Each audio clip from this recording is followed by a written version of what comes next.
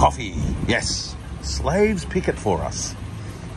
But who cares? It's delish. And, oh yes, here at Banjo's at Beerwah, we've come from the pool to the sausage sizzle outside Aldi to Banjo's for a coffee. And let me tell you, they've made a delicious coffee. This is as good as I've had in my life. Mm-mm. Oh, yeah. Yeah, no, it's good. I'd like to thank all those children that picked this for me in India or something. And even all the monkeys that ate it, they pooped it out. Because I've heard that coffee's sometimes pooped out. So all the monkeys that pooped it out again to make it delish after eating the cocoa, what, the coffee plant, the cocoa plant? I don't know what they make coffee from.